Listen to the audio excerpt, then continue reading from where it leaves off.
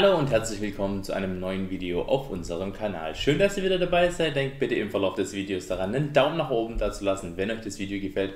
Oder vielleicht sogar ein Abo, wenn ihr in Zukunft mehr von uns sehen wollt und unseren Kanal unterstützen wollt.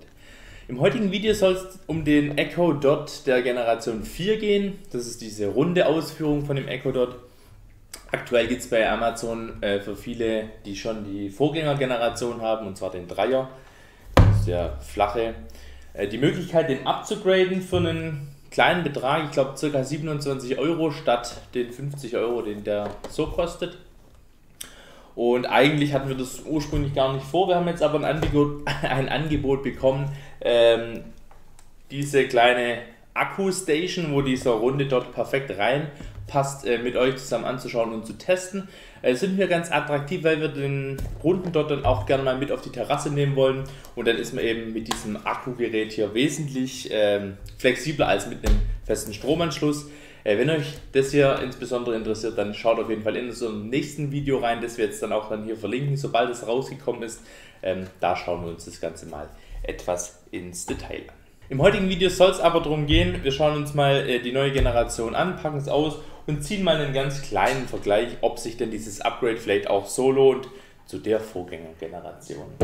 Ja, äh, Amazon verpackt die Geräte ja relativ gut, da braucht man kein Messer und nichts. Kann man hier einfach aufziehen, aufklappen und steht hier auch schon, man braucht das Handy und man muss das Gerät einstecken und ja, dann sollte das Ganze schon funktionieren. Wenn ihr bereits äh, Echo-Geräte habt mit eurem Amazon-Konto verknüpft, werden äh, die neu bestellten Geräte auf eurem Account schon vorkonfiguriert. Dann müsst ihr es tatsächlich nur noch einstecken und das Ganze sollte ganz von allein in Betrieb genommen werden.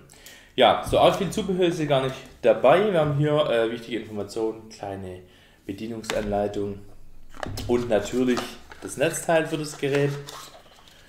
Und das war es auch schon an Zubehör.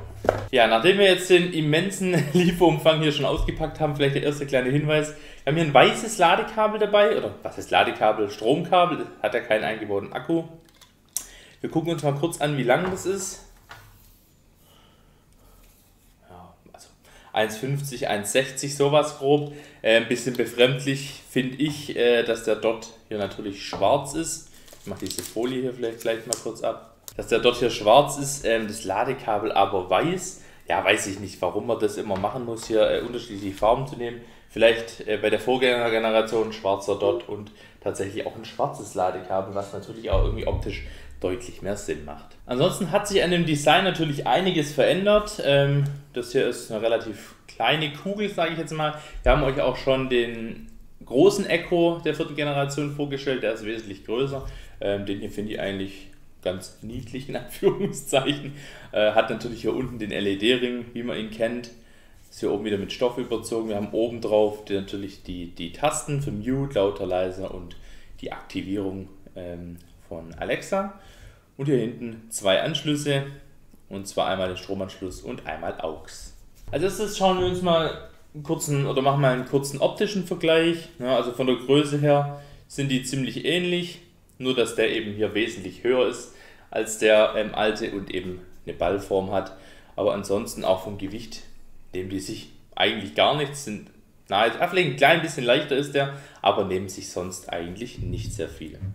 Dann werde ich den neuen dort jetzt auch mal einstecken. Machen auch einen kleinen äh, Tonvergleich, so gut es eben möglich ist, lizenzfrei.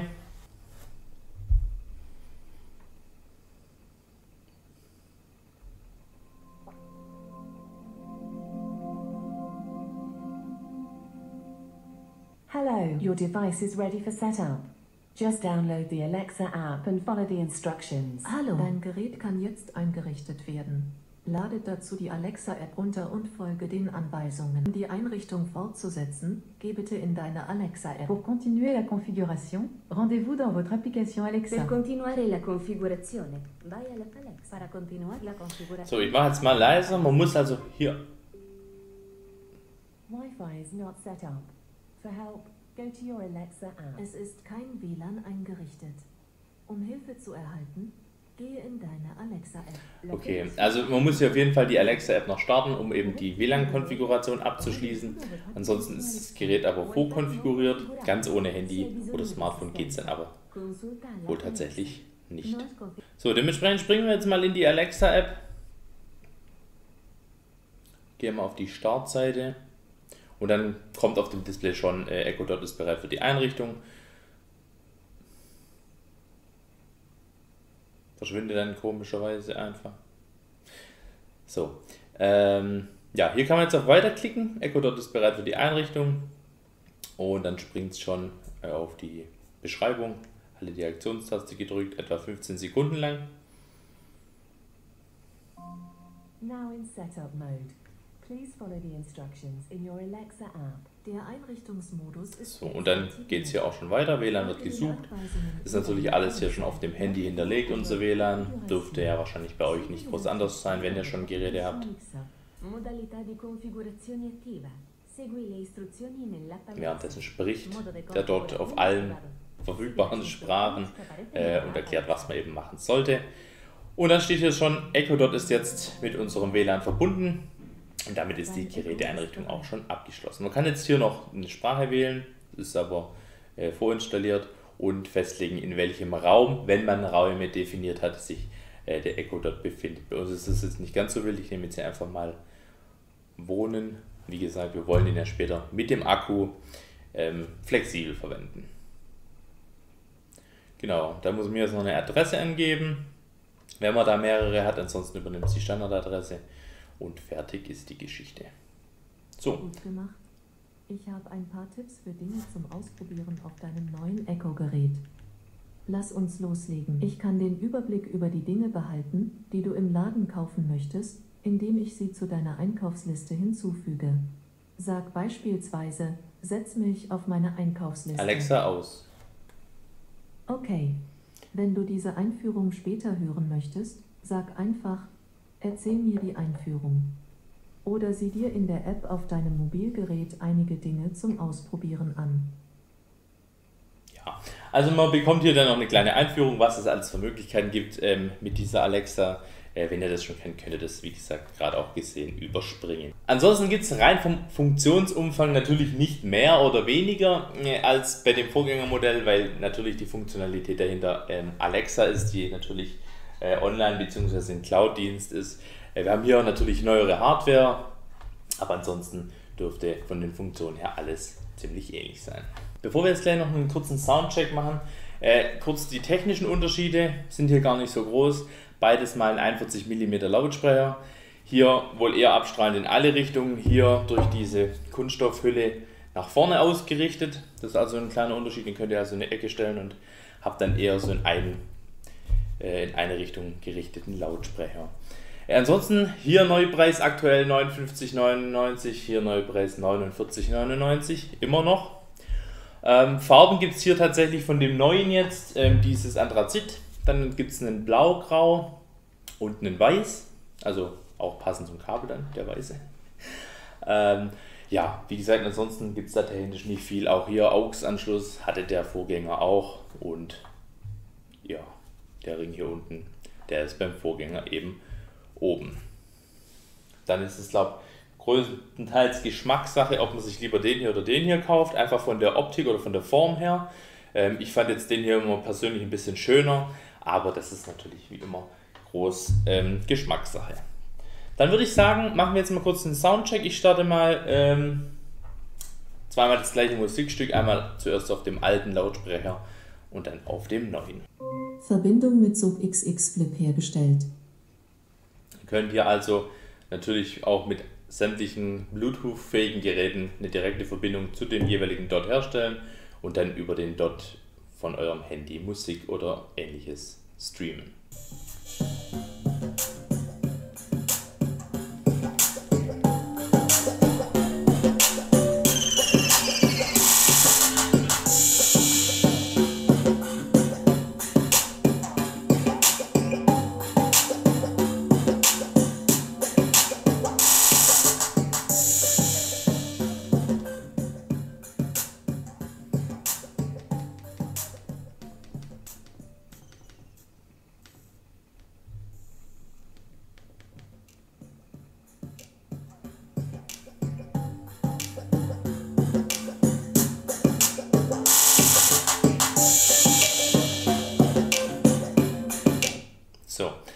War mal der alte. Jetzt machen wir das Ganze noch auf dem neuen.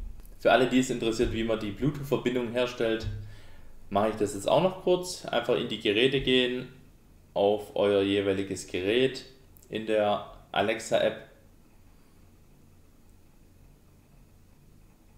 Bluetooth-Verbindung.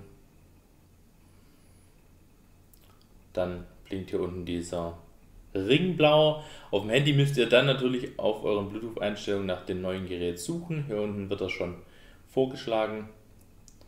Könnt ihr die Kopplung starten. Das Ganze auf eurem Handy bestätigen. Verbindung mit Bluetooth hergestellt. Und jetzt sind wir im Prinzip auf dem neuen dort verbunden.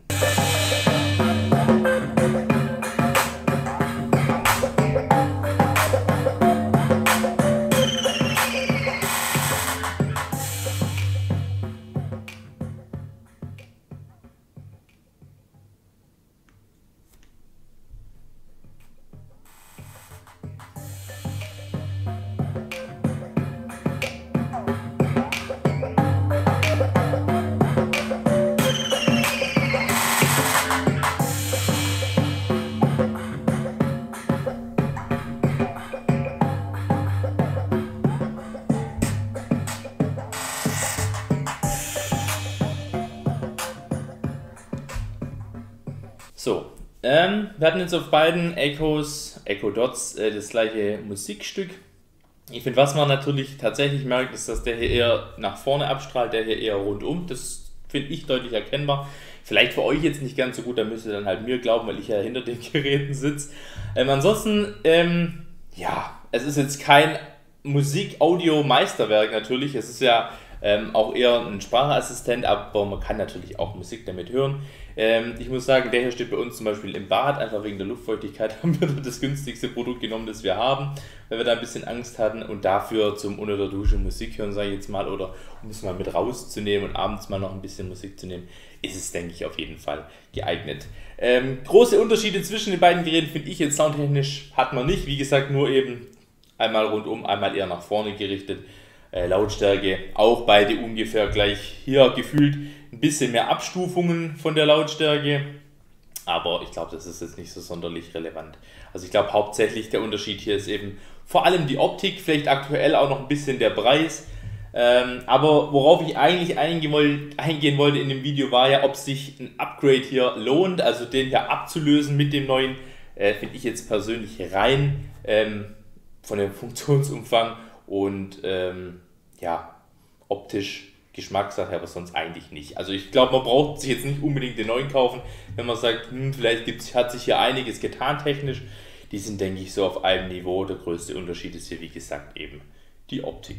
Und vielleicht, wie gesagt, wenn man das eher ins Eck stellen möchte und gerichtet, würde ich vielleicht auch eher den kaufen, als den hier, den vielleicht eher, wenn man ihn irgendwo offen im Raum stehen hat, wo man in alle Richtungen die Musik hören möchte oder den Sprachassistenten nutzen. Ansonsten nochmal zusammenfassend, 59,99, 49,99 aktuell auf Amazon, wenn ihr bereits den alten besitzt, für 26,99 die Möglichkeit, ähm, den zu upgraden, in Anführungszeichen. Man behält den alten ja trotzdem, man bekommt eben nur den neuen für die Hälfte. Das ist so fast die Hälfte, ein bisschen mehr, aber das ist natürlich schon was, wo man sich überlegen kann, wenn man sowieso mit dem Gedanken gespielt hat, sich vielleicht nochmal so einen Smart Speaker zu kaufen, ähm, dann auf dieses Angebot zurückzukommen. Damit sind wir eigentlich auch schon wieder am Ende des Videos angelangt. Vielleicht noch mal der kurze Hinweis, dass unser nächstes Video über diese Akkubank für den neuen Dot gehen wird. Da stellen wir euch das mal vor, finden wir ganz interessant.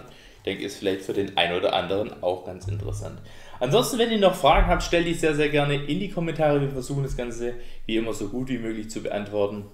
Ich hoffe, ihr konntet jetzt in den ersten schönen Eindruck von dem neuen bekommen, vielleicht auch einen kleinen Vergleich zu dem alten und ich hoffe, wir sehen uns in einem der kommenden oder vergangenen Videos wieder. Vielen Dank fürs Zuschauen, macht's gut und bis bald. Ciao!